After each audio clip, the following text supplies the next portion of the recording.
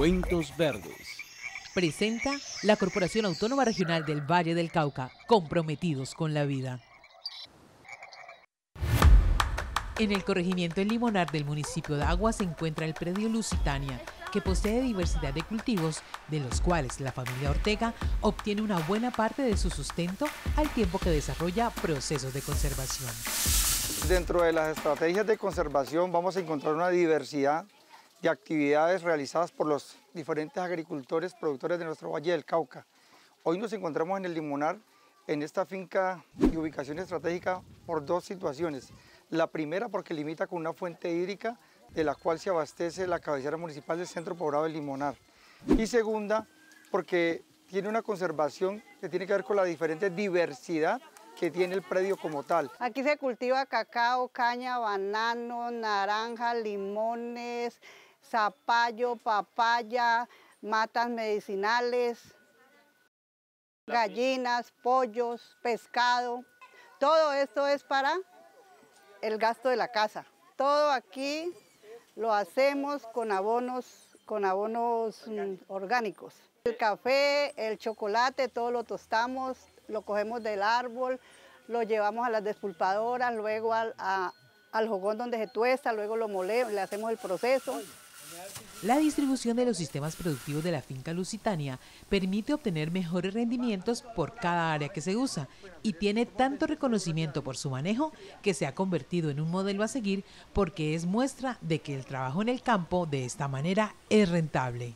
Aquí van a ver ustedes en un mismo lugar, en un metro cuadrado, eh, van a encontrar frutales, van a encontrar comida, van a encontrar productos como las plantas medicinales, de las cuales elaboran sus propios remedios en este predio y dan a conocer esa transferencia de conocimiento a los, a los alumnos que nos visitan el día de hoy. Se les ha explicado el cuidado que ellos deben de tener de la flora y de la fauna, de cómo el agua es tan vital para nosotros que vivimos en el campo, sobre todo para poder tener los cultivos adecuadamente. Porque es muy bueno que los niños aprendan que el campo es muy bueno, que en la ciudad, que no se vayan del campo, porque en el campo tenemos toda la comida.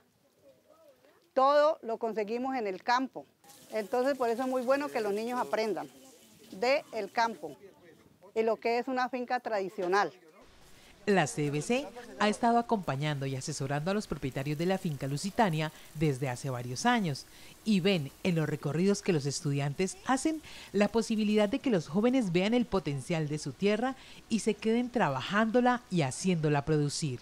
Con la CBC ha sido muy bueno, nos, nos ayudan, nos ayudan y está muy pendiente ellos aquí la CBC de todo. Pues agradecemos a la CBC que nos ha articulado en este proyecto porque la idea es que los niños, que nosotros podamos hacer los semilleros con esos árboles frutales tradicionales en la escuela y poder luego esas eh, semillas llevarlas a las casas e ir compartiendo en las casas esas semillas, esos arbustos para que ellos puedan también tener en sus casas.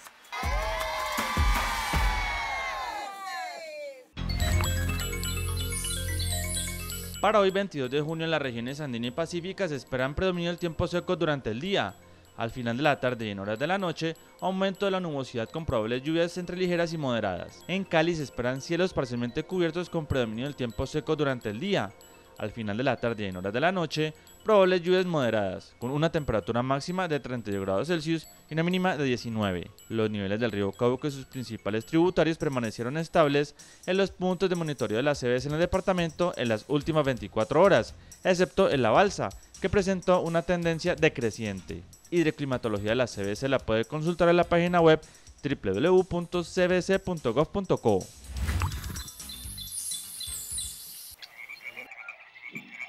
Cuentos Verdes. Presentó la Corporación Autónoma Regional del Valle del Cauca, comprometidos con la vida.